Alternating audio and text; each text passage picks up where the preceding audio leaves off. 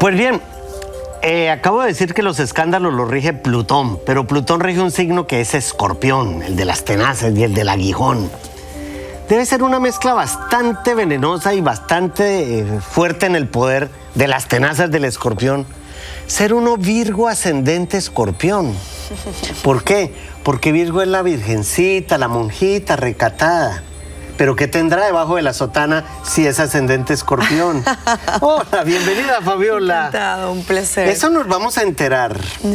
Porque tú eres una, una de las mezclas más difíciles del zodíaco para los demás, para uno Ah, sí, excelente. uno disfruta un Tú eres Virgo ascendente escorpión. Y resulta que yo llamo a Virgo la hormiguita carga ladrillo. Mm. Pero cuando le meten el escorpión, entonces ya no es una hormiguita, es una avispa. Ah, es una avispa venenosa, con el aguijón de frente clavándose a los dictadores y a los reyes y a los que se crean que son caídos de la teta de la Virgen. Así es, así es. O sea, ¿Ves? que justo entonces. Justo. Además, no solo eso, sino que tú eres una mujer de casa 10 y acabamos de mencionar que ese es el sector de la realeza.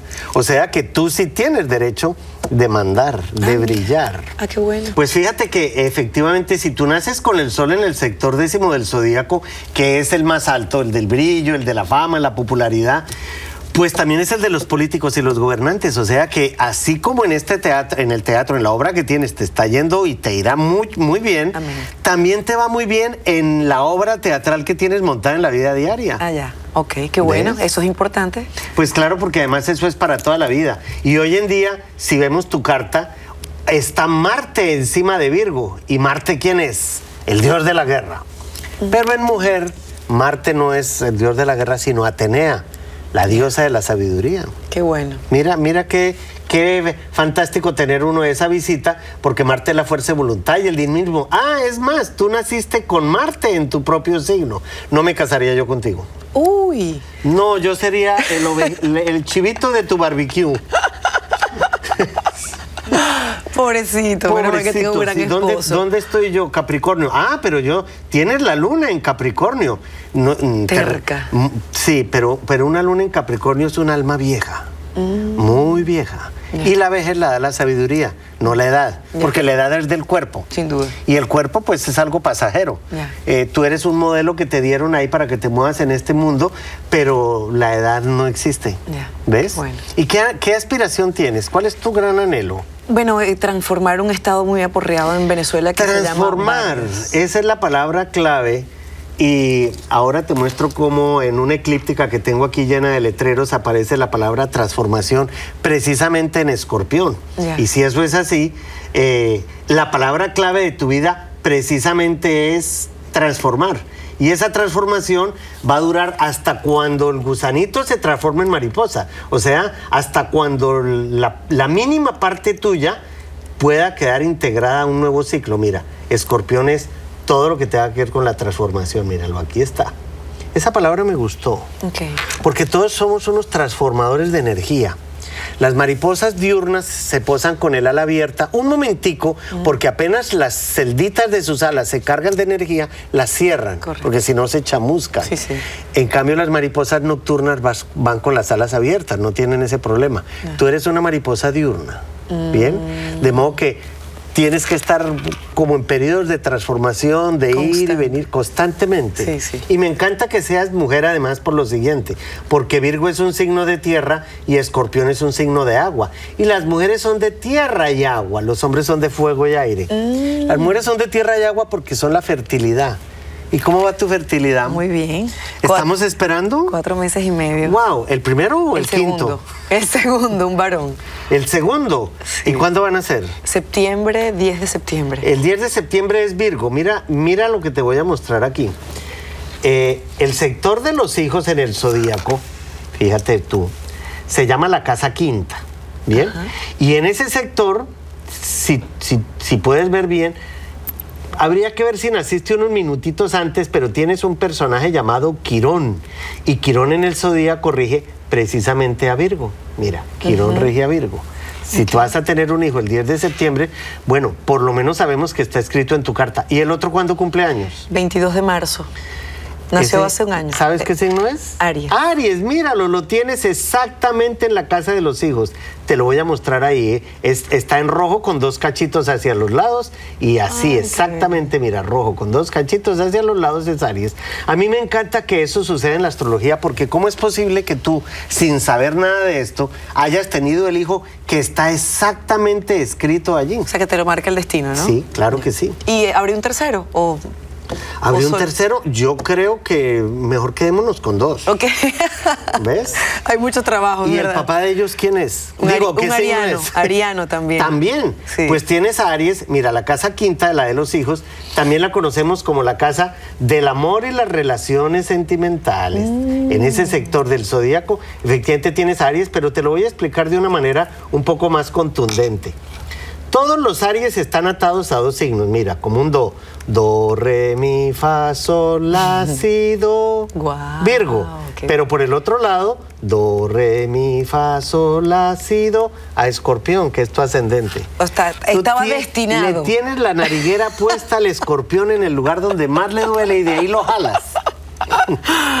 Pero qué bendición, porque es una pareja. Pues qué bendición porque esos son los matrimonios perfectos. Fíjate bien, tú eres tierra y agua, dijimos que eso es femenino. ¿Qué te falta?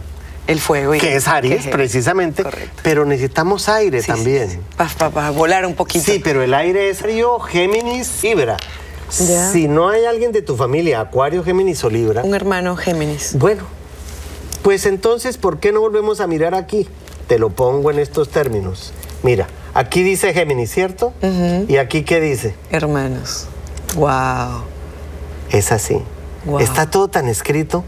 Genial. Lástima que la gente no supiera más de esto o aprendiera más de esto porque es un libreto para uno mismo. La astrología es para uno mismo. Sí, sí. Son como las tablas de Moisés, Ya. que cuando se las dio Jehová eran tan peligrosas que él las partió y escribió otras para el pueblo judío. Y, y el- y, a lo mejor es una pregunta prematura, pero en el, Dime. do- en el 2013, Sí. en abril puntualmente, yo me elijo como alcalde, propongo mi nombre como alcalde de, de un estado de Venezuela. Mira, si eso es así, recuerda que tú, tien- tú naciste con Todo el sol en la casa del éxito y de la vida pública. Ok. La prudencia de Virgo lo lleva a uno literalmente al éxito. Ya. Qué bueno. ¿Ves? Qué bueno. Que me han leído la carta mil veces. Sí. Pero nunca había escuchado esto. Pero- Con- además con tanta precisión y con tanta claridad. Pero para uno es- que no sabe y no entiende. está ahí. Y esa es la claridad que busca la gente cada vez que le digo los horóscopos. Excelente. De modo que me tocó irme a Así ellos. que sé que tienes mucho éxito. Fabiola, eh, Por tu claridad. espero que en tu papel de alcaldesa me invites a la posesión. Amén. Así Amén. será. Pues sí. Y ustedes no se vayan, que ya regreso.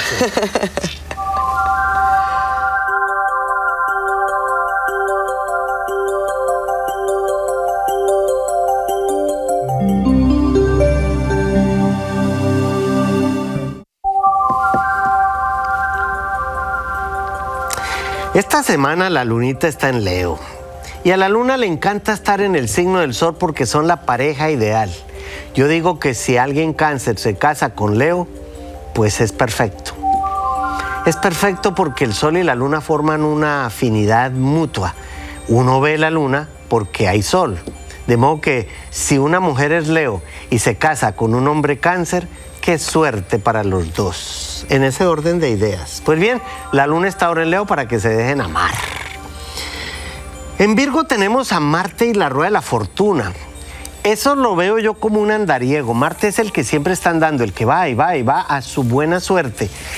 Cuando ustedes, eh, mis amigos Virgo, vayan a, vayan a desearle a alguien éxito, es eso lo que tienen que desearle, no suerte. La suerte no depende de uno, la suerte está por ahí. Pero el éxito sí depende de nosotros mismos. Y Marte, que está ahora en Virgo, los puede llevar a ustedes al éxito con la suerte que tengan. Libra tiene la visita de Saturno, ya se está despidiendo, está todavía lenta la cosa, pero esa lunita que hay en, en Leo, que va a estar en Virgo también, no alcanza a estar esta semana en Leo, pero la alcanzan a oler. Es una muy buena época para cambiar de disfraz y cambiar de amistades, renovar los votos, no de castidad, pero sin... En Libre estudiamos las amistades íntimas, por eso es como una balancita. Yo estoy en un platillito y los demás están en la otra. Qué bueno que ustedes supieran con quién cuentan, pero lo más importante es que dejen saber los demás con quién cuentan en ustedes mismos. Nadie puede vivir sin alguien Libra. Porque precisamente la balancita nos da ese equilibrio. Y escorpión tiene aún a la tierra encima esa seguridad con la que tienen que caminar. Por lo general, cuando alguien dice que es escorpión, le arrugan la nariz. Claro, le arrugan la nariz porque es el único signo venenoso. Pero ¿qué haríamos sin un escorpión al lado? Nos dormiríamos. Uno no se puede dormir con un escorpión al lado. Las tenazas y el aguijón son precisamente para mantenerlo uno despierto. Pero como son tan psíquicos, las premoniciones que ustedes tengan ahora en este mes son fantásticas. Señores maridos, háganle caso a las, sus mujeres escorpión o al contrario, háganle las mujeres eh, caso a su marido si es escorpión. Porque mm, la psiquis y la psicosis de un escorpión tiene que ser para ser atendida.